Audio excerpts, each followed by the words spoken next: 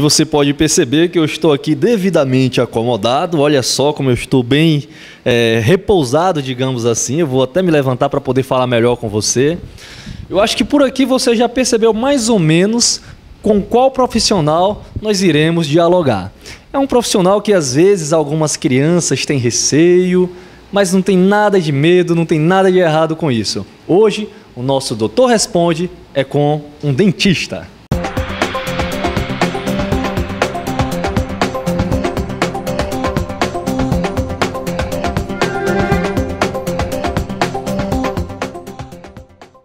Qual o conceito de cárie?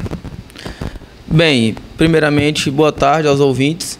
É, como iremos falar sobre cárie, é, que é uma doença bucal hoje com alta relevância dentre os brasileiros e todos os habitantes que fazem parte do universo, né?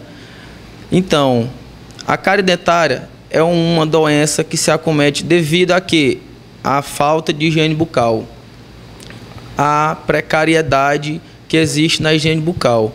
Muitas vezes, isso devido ao que acúmulo de alimentos, é, doces, má escovação, é, o não uso do fio dental, pode acometer a doença cárie, que leva à perda dentária, leva ao tratamento de canal, que ele é feito muitas vezes a partir da cárie dentária, porque ela atinge a polpa do dente. O que é a polpa do dente?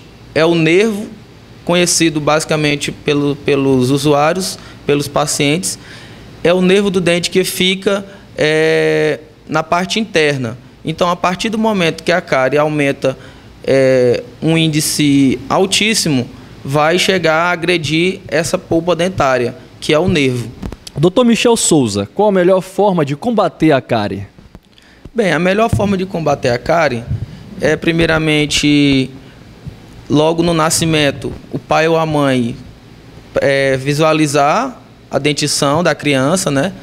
Começar a fazer uma higiene com uma, uma fralda umedecida, é, uma escova de dedo que já existe hoje nas farmácias. E a partir de uma certa idade, que é basicamente dos 3, 4 anos, fazer uma visita ao dentista, ver como é que está, se ela já tem possibilidade de fazer algum tratamento se ela já estiver realmente precisando. Do contrário, faz aquela visita periódica e, e terá as recomendações do dentista, que vai ser as escovações três vezes ao dia, né? o uso do fio dental após as escova é, antes das escovações e entre esse período o uso de um enxaguante bucal que é para diminuir o índice não só da doença cárie, mas sim de outras doenças como a de gengiva. Olha só, doutor, muitas pessoas já estão com essa doença cárie em um avançado estado. Quando essa doença já está em um estágio bem avançado, qual o tratamento adequado? Bem, o tratamento adequado, primeiramente, é o exame clínico, porque o paciente vai chegar apresentando dores e o incômodo, né, que muitas das vezes é, acontece mais à noite então, o tratamento adequado vai ser, após o exame clínico, é, um exame radiográfico para a gente poder visualizar até onde se estende essa lesão, para a gente diagnosticar se o paciente vai se submeter a um tratamento de canal ou muitas, muitas das vezes uma perda dentária, que já é um tratamento mais extremo, que é onde vai acontecer a ausência dentária. Em relação aos doces que as crianças amam é, degustar, amam comer, eles têm mais maior influência no surgimento da cárie do que algum tipo de outro salgadinho, por exemplo? Sim, os doces, primeiramente, porque eles vão se alojar é, nos sulcos, que são aqueles, aquelas anatomias que existem no dente, né?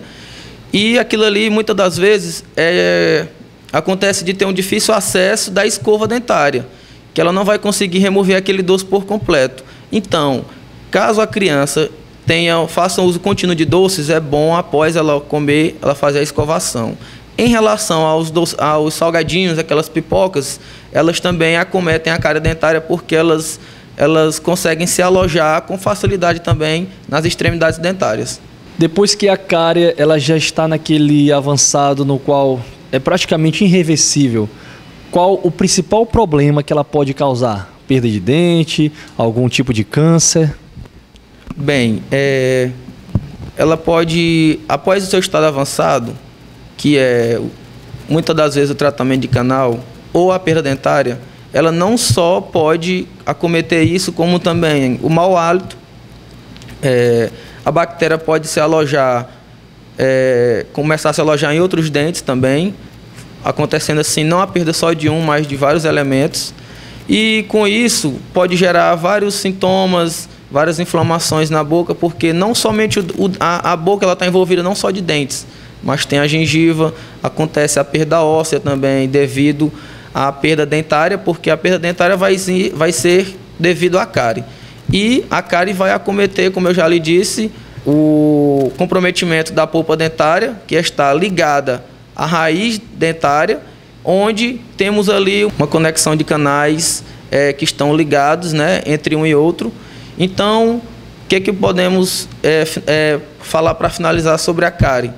Que você deve buscar o seu dentista periodicamente, né, em postos de saúde, consultórios particulares, certo? Sem distinção, porque o melhor profissional para diagnosticar não só a doença cárie, mas qualquer outra doença que acomete na cavidade bucal é o cirurgião dentista.